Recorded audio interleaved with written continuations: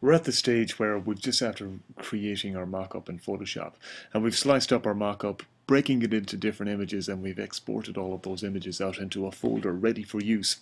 Now we're about to move into Dreamweaver and we want to recreate this website, uh, this mock-up that you see in Photoshop, we want to recreate it in Dreamweaver as an actual coded live website.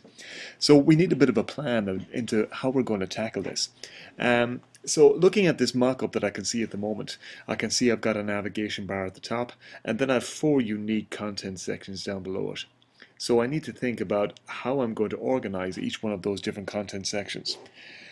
Uh, to help me do this, I think I'm going to move over and create a diagram for this. So handling all of those different parts that I see in my mockup, I'm going to need to create different div sections, different sections that will hold together the different parts of my website for me.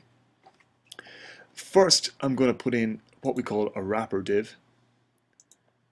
And this div section, we won't be able to see it, will in effect be invisible, but it will be there holding my whole website together, the main parts of my website, so that I can kind of center it into the middle of the page and hold all the different constituent parts in a nice tidy way together. So that's the wrapper div.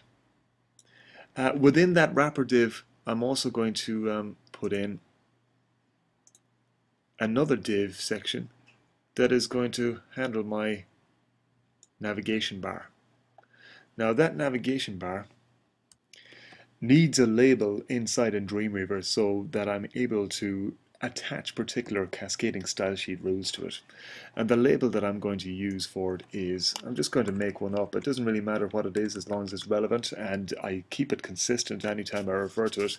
I'm going to label it navbar. Notice that I've just capitalized the first letter of every subsequent word uh, just to make it very readable for me. So that section there is the navbar.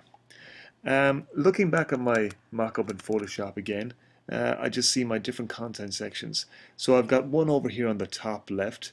I've got one on the uh, in the middle, which is going to be a kind of a main content section. I've got one on the bottom left, and then I've got another main content section on the bottom. So I'll flick back into my diagram and uh, I'll start laying out these in my diagram as well.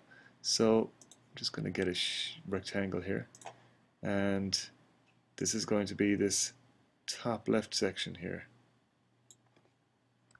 And again, just like my navigation bar up at the top, this also needs a label so that I can attach different CSS rules to it.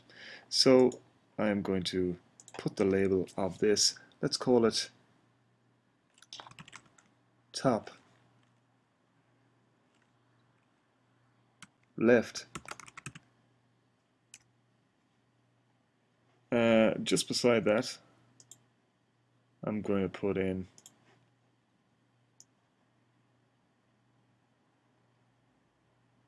the main section and I'm going to uh, edit the text there. The label that I will eventually put on this is top main. Again, I'm just choosing these different labels, uh, these aren't standard names or anything, they're just specific to my website, but as long as I keep on using them in the same way across the, the whole website, that's what matters.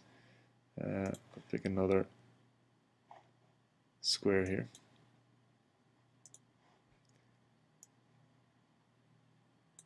And you can probably guess what this one is going to be called.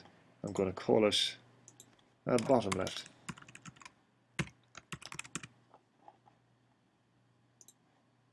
and the last section. I'm going to call it bottom main.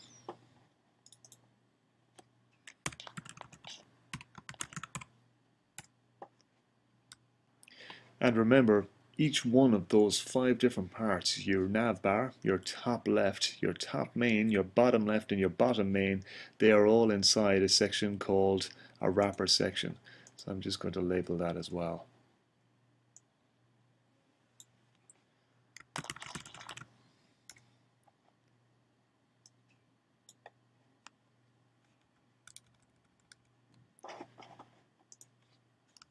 Now that layout that I'm just after doing there, it is specific for the design that I'm just looking at at the moment. This particular Christian Moore website with the layout at the moment, that is why I have laid it out the, in this way, where I've got a nav bar at the top, two different content sections on the next line, and then two more content sections down below it. But when we move on through the different tutorials, this is the layout that I'm going to use. So this is what I'm going for, and it's important to realize that. So let's move on and let's try and uh, put it into Dreamweaver and make it happen.